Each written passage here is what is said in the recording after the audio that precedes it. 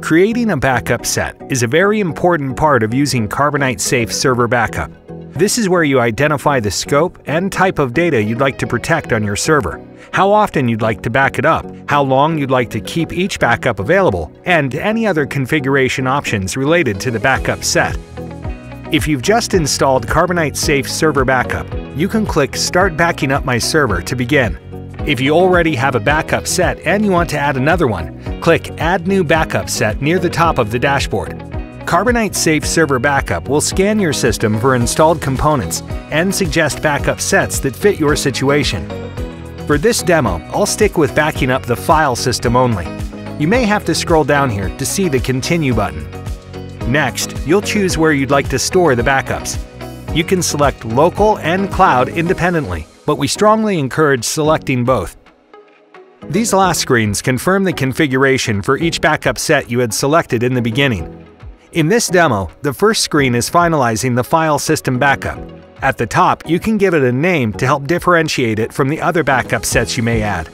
Since this is a file system backup set, you can select which drives, folders, and files you'd like backed up on the right. For local backups, you have to select the disk and folder you want your backups to go to. This can be a network location, but you'll have to ensure that Carbonite Safe Server Backup can access it, either by granting rights to the Carbonite user account or by inputting a username and password that already has rights to that location. If you're using a network location, click Verify Access to a network location to check for that access or to input that customer user. For simplicity's sake with our demo, I'll just use the default local disk location in the Carbonite Safe Server Backup program folder. Under Backup Schedule, you'll see a default schedule. You can double-click each of these entries here to view more details and customize them. We highly recommend viewing our video on scheduling and retention concepts before making any major changes, as they can have profound effects on the success of your backup. Unless you have very specific needs that require significantly modifying a template or creating a schedule from scratch, we suggest not doing so. Select a template and the backup schedule will change automatically. From there, you can make minor customizations to fit in with your preferences, like changing which day of the month you would like a monthly scheduled backup to happen. Just double-click an entry, then make your adjustments. At the bottom, you can see and edit retention settings. Retention settings determine how long backups from this backup set are retained in your local backup location and in the cloud.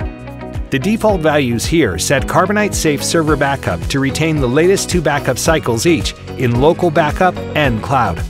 When you're done configuring, scroll down and click Save and Continue at the bottom. When you're through with all selected backup sets, you'll see a confirmation screen and a summary. Carbonite Safe Server Backup will then prompt you to schedule your first full backup. Any scheduled incremental or differential backups will fail until the full backup is complete, so it's important to schedule the full backup as soon as you can. You should schedule it to occur when the server is not normally in use, like after business hours. Enter a time and click OK and you're done. You'll see a summary of each backup set on the Carbonite Safe Server Backup dashboard, along with their current storage usage and schedule. Carbonite Safe Server Backup will automatically handle all the backup processes from here, depending on the scheduling and retention you've set. And you can monitor each one from this dashboard. Thanks for watching.